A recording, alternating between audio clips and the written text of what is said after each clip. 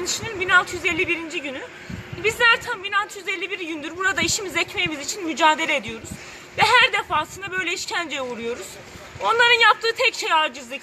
Şuradan şuraya bir insanı getiremedikleri, direnme hakkımızı kullandığımız için çaresizliklerinden her gün işkence yapıyorlar. Bu ülkede ne yapıyorlarsa çaresizliklerinden, yönetemediklerinden kaynaklı yapıyorlar. Ben bugün Ali Osman Köse'den yine bahsetmek istiyorum.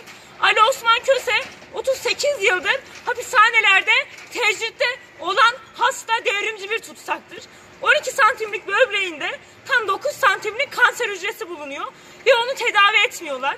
Halkın baskıları sonucunda Tekirdağ Üniversitesi, şey Trakya Hastanesi onu tedavi ettireceğini söylemiş.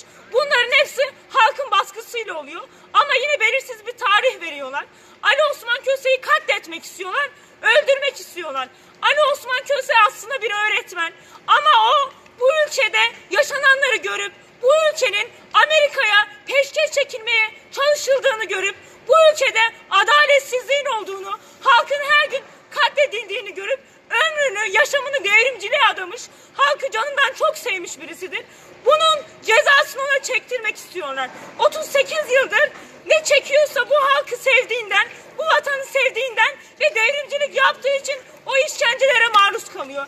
Bizler Ali Osman Köse'yi çok seviyoruz. Bizler onun emeğine karşılık emek vermek istiyoruz. Onu tecritten çekip almak istiyoruz. Eğer Ali Osman Köse'ye bir şey olursa başta Adalet Bakanı olmak üzere bu ülkede devrimcilere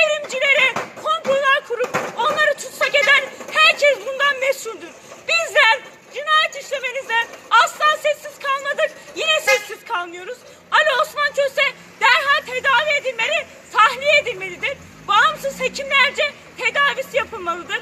Ali Osman Köse'ye özgürlük diyoruz. İşimizi ekmeğimizi istemeye devam edeceğiz. Ağzına sağlık.